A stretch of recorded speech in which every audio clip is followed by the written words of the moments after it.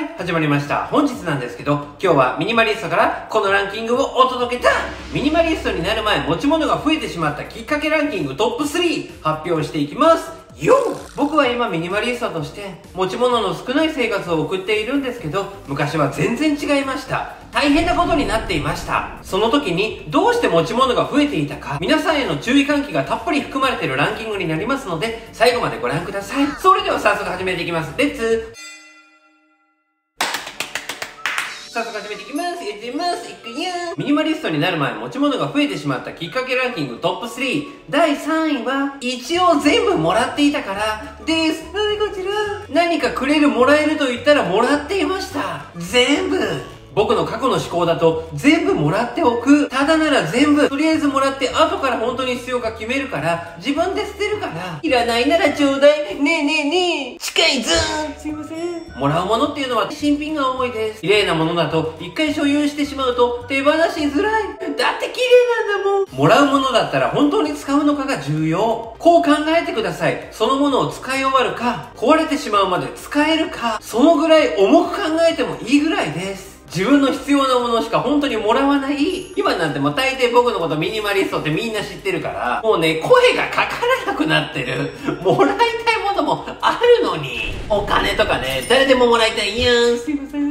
もらって使わない、ただ移動しただけ。とにかく。皆さんも、ただであったとしても、持ち物を増やしたくないのであれば、必要なもの以外はもらうのをやめましょう。自分が綺麗なまま手放す、捨ててしまうなんて、持ち物にとってもかわいそうだし、自分の罪悪感もありますよね。注意していきましょう。ほーい。はい、ミニマリストになる前、持ち物が増えてしまったきっかけランキングトップ3。第2位は、買いすぎです。当たり前かん。浅いランキングだと思わないで。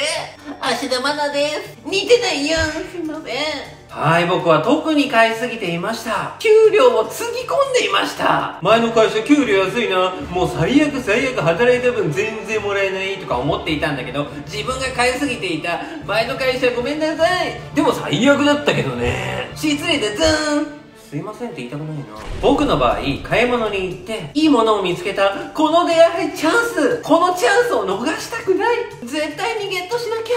買っておこう。絶対にゲットしなきゃ。と思って服でも雑貨でも何でも買わないということよりも買い逃してしまって後で後悔する方が怖い。そっちを気にしてしまいました。逃した魚はでかい。そういう恋愛もね経験してきましたからね。結局その人が成長して可愛くなったりしちゃってね。でもショートカットとかだと気づけないじゃないですか。次会った時ロングヘアになっててえ？女性らしくてすっごくいいじゃん。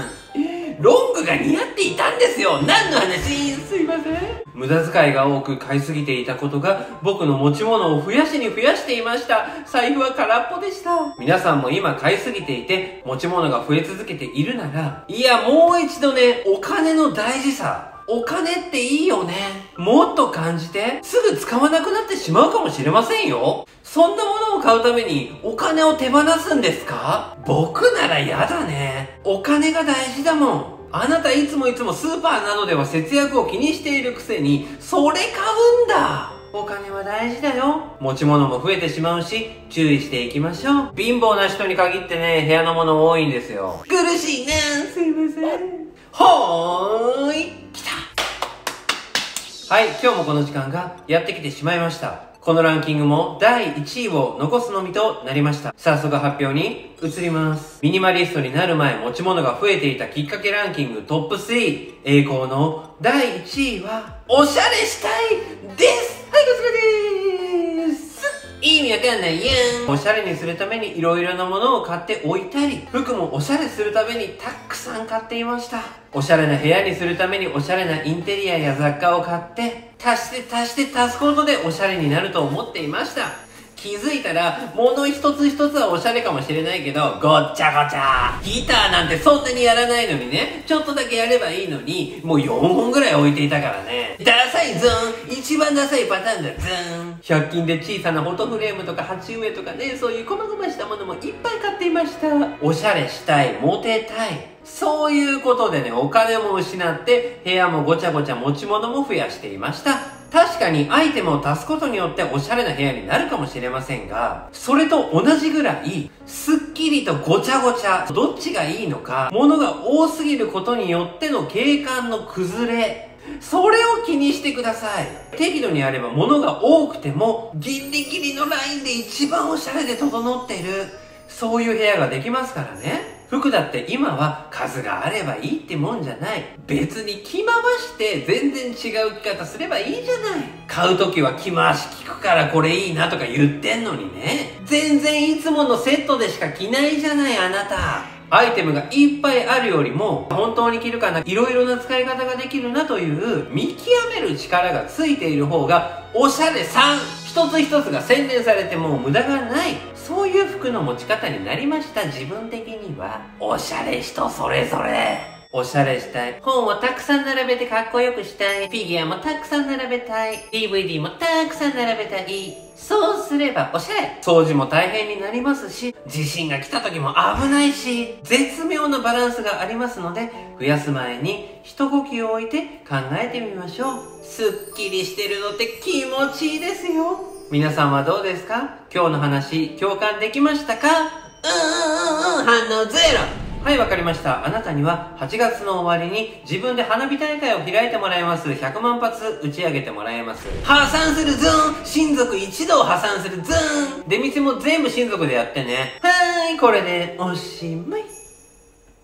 はい、いかがだったでしょうか？今日は持ち物が増えてしまったきっかけをお伝えしました。皆さんへの注意喚起もお伝えさせていただきました。一応もらっておく、買いすぎ、おしゃれしたい。僕はそんな感じでしたけど、皆さんはね、また違った観点があると思います。自分がね、どういうランキングになるのかも、ちょっと考えてみましょう。